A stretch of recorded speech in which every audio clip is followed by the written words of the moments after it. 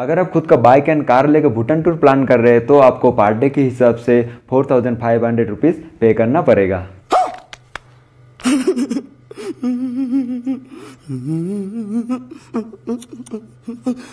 तो जो लोग सोच रहे थे कि हम लोग कैब रेंटल नहीं करेंगे, खुद का कैब एंड या तो बाइक लेके जाएँगे भूटान टूर तो बहुत पैसा बचाएँगे।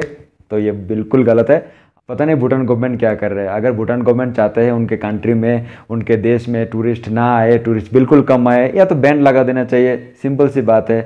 आ, मतलब क्या बताए इतना सारा उनको एंट्री फ़ीस चार्ज कर रहे हैं।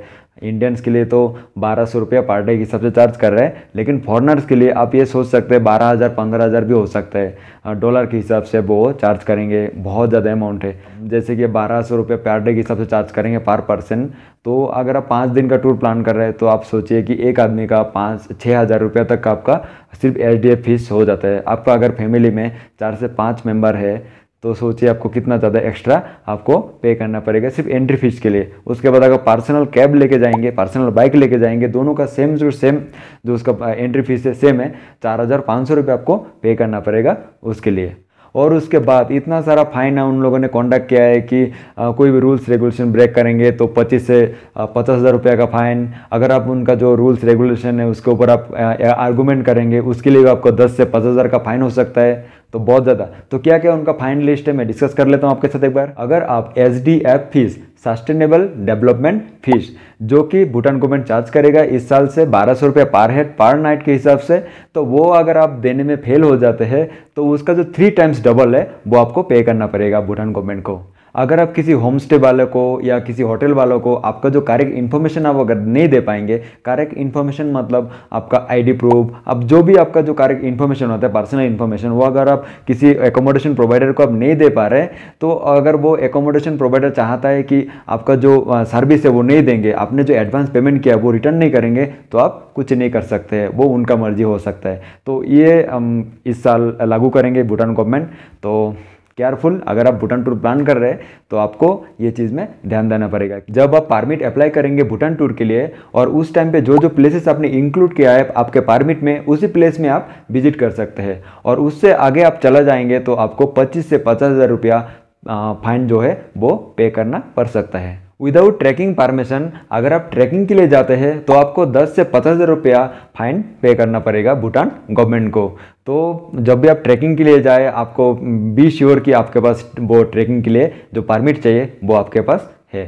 2022 में भूटान गवर्नमेंट का जो रूल्स एंड रेगुलेशन है, वो आप ब्रेक करते हैं तो आपको 10 से पचास हज़ार रुपये आपको अमाउंट पे करना पड़ेगा एज ए फाइन और अगर आप उसके काउंटर आर्गूमेंट करेंगे, उसके लिए भी आपको 10 से पचास हज़ार रुपया फाइन देना पड़ सकता है। अरे मुझे चक्कर आने लग गया अब। तो गाइस भूटान टूर के लिए बहुत ही केयरफुल होना पड़ेगा। हम शायद मेरे जैसे नॉर्मल मेरे जैसे मिडिल क्लास लोगों के लिए तो शायद भूटान टूर इस साल नहीं हो पाएगा। मैं तो प्लान कर रहा था भूटान टूर करूँगा बोल के, लेकिन शायद ही नहीं हो पाएगा। तो मेरे पास जो भी इन्फॉर्मेशन था, मेरे फ्रेंड्स ने, उन्होंने इन्फॉर्मेशन दिया है। मैंने कोलाबोरेशन कर सोचा था कि इस साल भूटान टूर का पैकेज का प्लानिंग करेंगे। तो मेरे बहुत सारे फ्रेंड्स इस साल मतलब इंटरेस्ट ही नहीं है। वो बोल रहे यार हमारे गवर्नमेंट ने ये ये सारे बहुत कुछ अभी इम्प्लीमेंट कर रहे हैं, जो रूल्स एंड रेगुलेशन है तो शायद इसके वजह से टूरिस्ट भी पैसे कम आएँगे और जो भी आएँगे, उनको एक डर रहेगा। तो इतना अच्छा मज़ा नहीं आएगा कि इतना रिस्ट्रिक्शंस है। अगर आप उसको रूल्स एंड रेगुलेशन ब्रेक करेंगे तो आपको इतना सारा फाइन देना पड़ेगा।